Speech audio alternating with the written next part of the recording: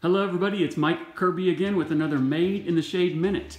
And today we have dual layer shades. They go by many names, but whatever you call them, they're awesome. It's dual layer or mezzanine, or some people even call them zebra shades. And so these are real contemporary, and uh, they have a great look. They, they, um, they tilt open and close, so watch this. Tilt open and closed. So there's your open, and you can see outside, see the surroundings. And then they're gonna tilt closed again and block out a lot of the glare, you see. So I'm gonna let Ron go up there real quick and just tilt them open for you. Here we go. All right, so here's tilt open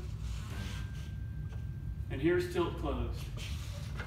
And then, one of the great things is, all the way up for a zebra shade.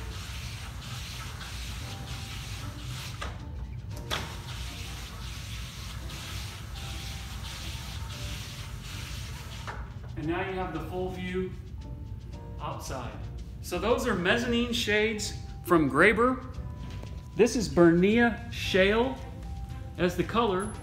Goes great with the paint, goes great with the fireplace. And there's another Made in Shade Minute with dual layer shades from Graber.